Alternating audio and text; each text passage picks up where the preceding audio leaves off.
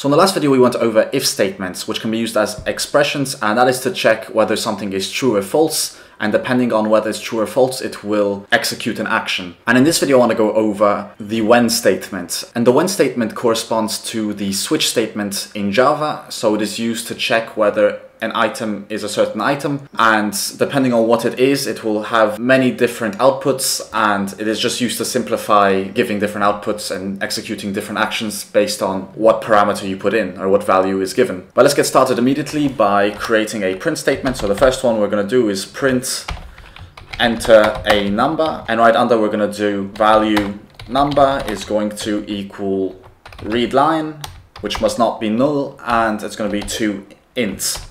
So we need to make sure we enter an integer when we read this line or else the program will crash. But uh, we're not going to handle that exception in this video. We're just going to enter an int and pretend that we will know to only enter an int. Then we're going to copy and paste this real quick.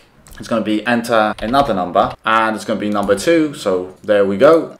And then down here, we're going to write print line and it's going to say enter an operator. And we're going to have plus, minus, asterisk symbol or slash. Then we're going to write value operator is going to equal read line. And down here we're going to create a value of result, which is going to use this when expression to check which operator we insert. So we're going to write operator and we are going to create a block. And when the operator is a plus symbol, we can just create this small arrow. With the interpolation symbol, we are going to write number plus number 2 equals, and then we need to interpolate the entire expression. So we're going to do number plus number 2. And then we can go down here and say when it equals the minus symbol, we can go and write another arrow. And to simplify this, I'm actually just going to copy and paste the first one and change them all accordingly. For the first one we want it to be a minus, the second one we want, I mean the third one we want to be an asterisk, and the final one we want to be a slash. And then we need to fix all of these as well. So minus, asterisk, slash, and finally over here, minus, asterisk, and slash. And if they enter something that's a bit funky, we're just gonna write else operator is not recognized. And finally, we need to print this result. So we're gonna write down here, print line, and we can just enter the result. And when we run this program, it'll tell us to enter a number. So I'll go first with 17 and then I'll enter 12. And then I need to pick an operator. So whether I want to divide it, multiply it or subtract it. So let's just go for multiplying. And it will tell you 17 times 12 is 204.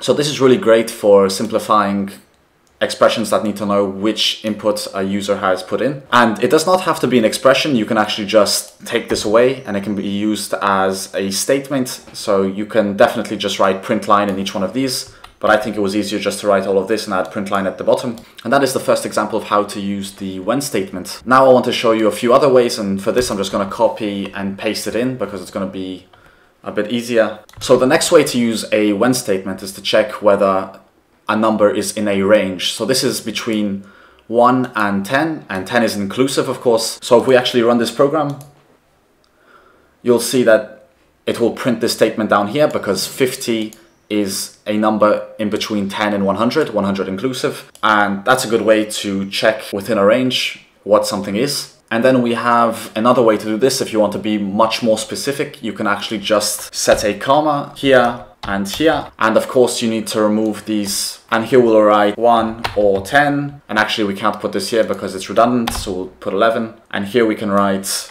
11 or 100. So when A is 1 or 10 it will print line 1 or 10. When it's 11 or 100 it will print 11 or 100. So let's just put 1 here and you'll see it prints 1 or 10. And you can also use this for strings. So let's pretend you were writing a string like hello or goodbye. And here you will write nice or you can write bad. And then we're just going to change this to a string. So we're going to write goodbye. And here we can put a response as goodbye, good sir, or cool. So it also works for strings and other values, whatever you feel like inserting there should work pretty nicely. Here's a very simple bot that just responds to these inputs. And you can create a lot of good stuff with this. So we will just continue on with the final example that I have. And I'm just gonna copy and paste it in one more time. So this is the final example I have. So the first thing I did here is create a variable called number and it has been initialized with the value one. And then here we have an if expression where we're going to take, uh, we're going to create a variable of x and if the number is more than 20, we're going to return the string hello. Else if the number is less or equal to one, we're going to return the number two. And finally, if it is none of these above, if it's between 1 and 20, we are going to return a list of numbers. And you might be asking, why did I make this so complicated? Well, I'll show you immediately right under what it is used for. So essentially, you can also use this is keyword to check whether it is an int, a string, or a list, or whatever type you want to check. So we can check whether x is an int. If it turns out that it's number two, you'll have this uh, block of code get executed. If you write when and it says, ah, it's an int, you can also check when that int is one of these two numbers, it will execute these two lines of code. So this is just a nested when expression. But uh, it also can check if it's a string, and if it's a string, it will execute this line of code, and if it's a list, it will execute this line of code. So it's also good for checking whether it is a certain type. And yeah, let's run this program just to see what it does. So we entered the number of one, and it should return two, which means we should get this print line of goodbye.